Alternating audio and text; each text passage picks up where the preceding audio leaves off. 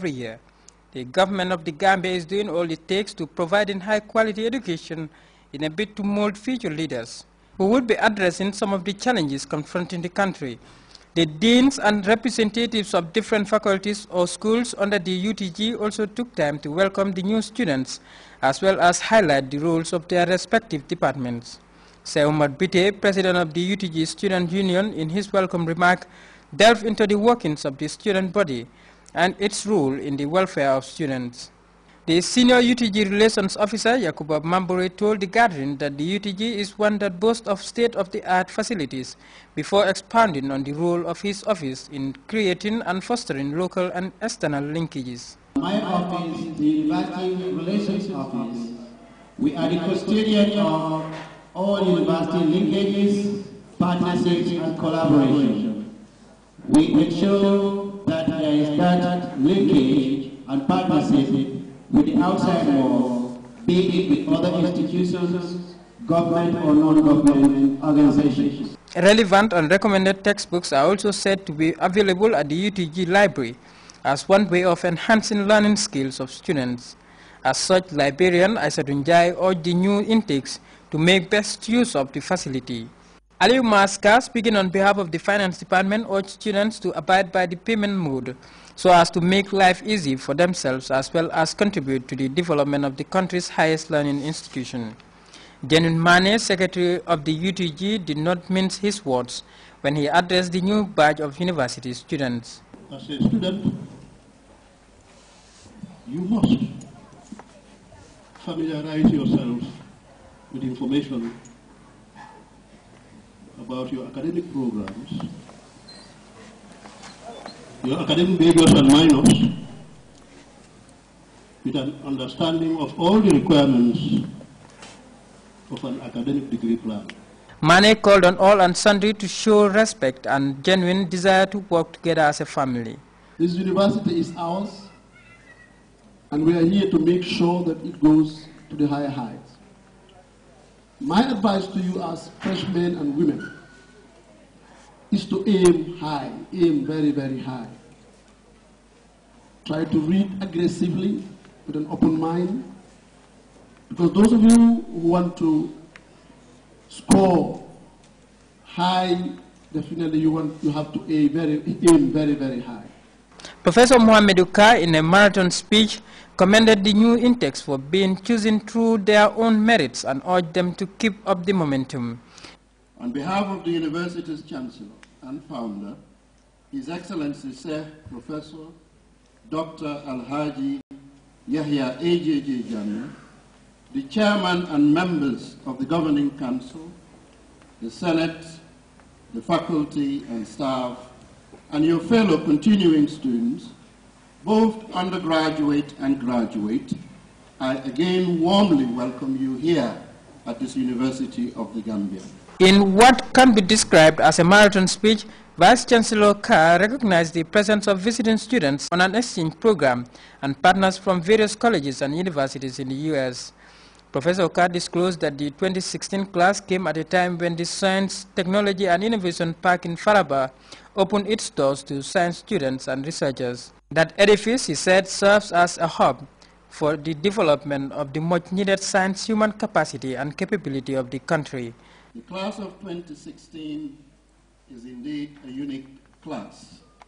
You're coming to the university when we are emerging from a very, a very dark cloud and unfortunate distractions which tested and challenged the resolve of our university for the past two years or so. And beginning this new year, are beginning this new year with huge hopes and optimism and excitement. For GRTS News, this is Babukar Senghor. Uh, public health officials in Cuba closed all restaurants as they intensify extra precautionary measures on a cholera outbreak that has killed one person. And more and uh, West African troops arrive in Mali with France to increasing its number of boats in the once peaceful country.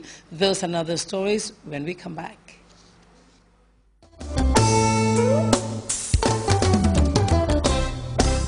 The NAWEC Staff Association, under the Chief Guest of Honor, His Excellency the President of the Republic of the Gambia, Sheikh Professor Alhaji Dr. Yaya AJJ Jammeh, is staging its third annual gala dinner and dance in association with the international superstar Asanjai of Senegal, Jaliba Kuyateh and Abu Anfafa. This program is in support of His Excellency's drive to turn the Gambia into a city-state by providing all basic and essential services such as electricity and water to the Gambian population populace irrespective of where they live. The gala dinner is slated for the 25th of January 2013 at the Senegambia Beach Hotel. Tables are as follows. Platinum $60,000 diamond $50,000 A, gold $40,000 A, and silver $35,000 A. Each table comes with 10 gala dinner tickets and cash power raffle tickets. Individual tickets $1,500 A. January 25th, that is the dance at the Paradise Suites Hotel, Penchami Hall.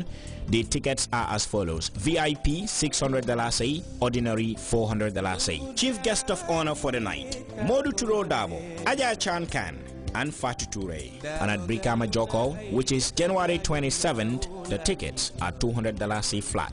Chief Guest of Honor, Lamin Sane, Governor of West Coast Region, Aja Fatu Sow, Farato Alcalo, and Amidu Jah, Jah Oil. For reservations, please call 366-4096, 997-3500, 384-6607, 980-2992.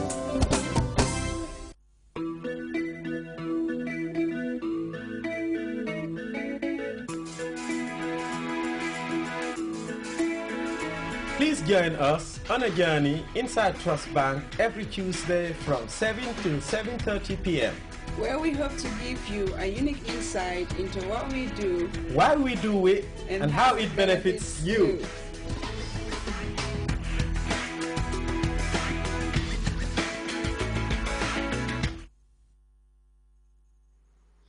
Welcome back to GRTS News. The United States has recognized the government of Somalia the first time since 1991. The move comes during a visit to Washington by the Somali President Hassan Sheikh Mahmoud. And Charles Blé Goudé has been arrested in Ghana after being ex in exile for more than a year. The former leader of the Young Patriots did not have a political refugee status and he has been on the run since the ousting of Laurent Gbagbo. We have details of those and other stories in this African News Roundup by CFI. For the first time in over 20 years, a Somali president visited Washington on Thursday. I am delighted to announce that for the first time since 1991, the United States is recognizing the government of Somalia. With new political um, recognition, Somali President Hassan Sheikh Mahmoud may now be able to count on financial aid from the United States to help reconstruct his country that has been ravaged by decades of war.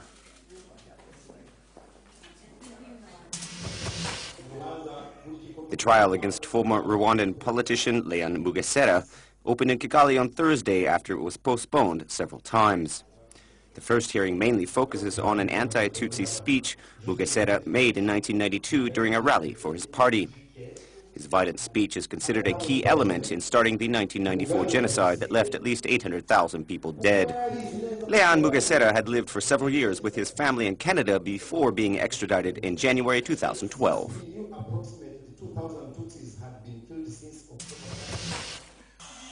Charles Blé Goudé has been arrested in Ghana. He is a staunch supporter of former Ivorian President Laurent Gbagbo. The former leader of the Young Patriots lived in exile for over a year and a half. He was arrested in Ghana's capital Accra on Thursday and is now being detained by Ghanaian police. Charles Blé Goudé does not have political refugee status. The Ivorian authorities issued an arrest warrant for him over his involvement in the post-electoral crisis in Cote d'Ivoire in December 2010, in which nearly 3,000 people died. The Democratic Republic of Congo held a commemoration ceremony in honor of Patrice Lumumba, who was assassinated in 1952. Lumumba was the hero of independence and the country's first prime minister. The head of state and several government officials attended the ceremony. Over half a century after Lumumba was assassinated, Belgian authorities have decided to reopen an investigation into his death. Patrice Lumumba's family called the move a courageous initiative.